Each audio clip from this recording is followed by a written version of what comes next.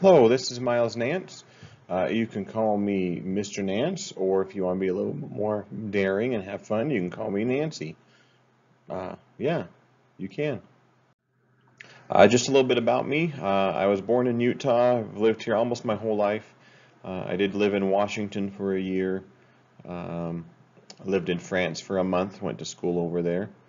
Uh, I grew up playing sports, mostly soccer and tennis and basketball and Never played football, but I love to throw the football around. Um, yeah, that's about it. I'm kind of boring. Uh, just a little bit more about me, some of my hobbies.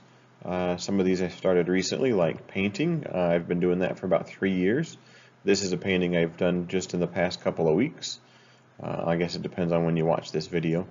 Um, I did it the, the first part of August of 2021 and I've been doing it for three years. It's something I use to to help with my depression and anxiety, and it helps pretty well. It's pretty good.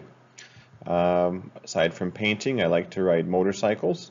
Sometimes I ride them out into the mountains to go do painting. Um, I don't really like riding through cities. I've never done off-road riding, but uh, mostly just street riding is pretty fun. Um, I like to watch painting videos. I started watching Bob Ross when I was a kid, but I've kind of graduated and I, I, watch a lot of Samuel Earp. He's from Australia, I believe. Uh, Andrew Tischler from New Zealand and uh, are a couple of my favorites. And then uh, I also like to doodle along with the art. This is a little cartoon I drew with jellyfish. Uh, just something I do to pass time. Uh, but those are some of my hobbies. Those are things I like to do. Things that you're going to learn in my class I have quite a few classes this year. Digital literacy, we focus mostly on Office.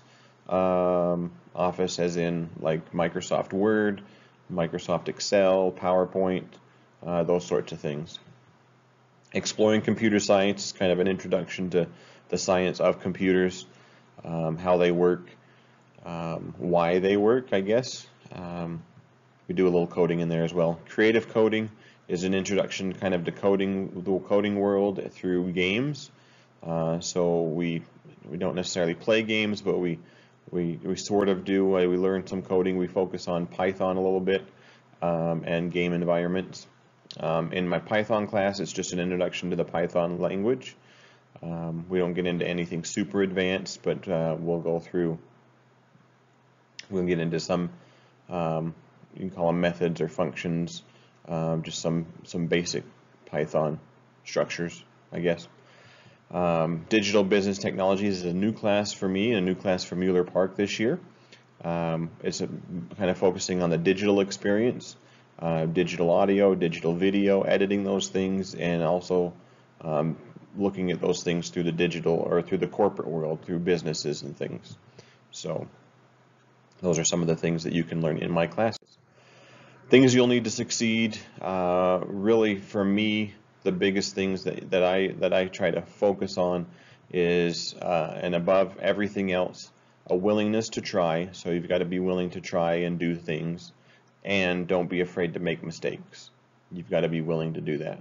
So those are the two things that you really need. Uh, we can talk about attitude and all those other things, and, uh, but for me, these are the two the two things that you need. Uh, if you've got those, you'll be great.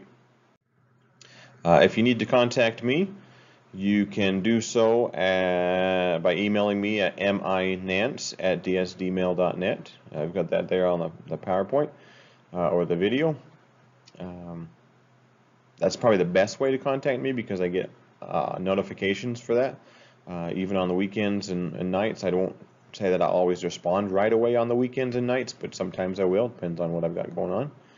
Um, I try to be as available as possible. You can also email me through Canvas, uh, through the inbox uh, feature. Uh, I will say that since I don't get notifications right away on Canvas, um, I don't respond as quickly, but I will respond on those as well. So those are kind of the couple ways to get in touch with me.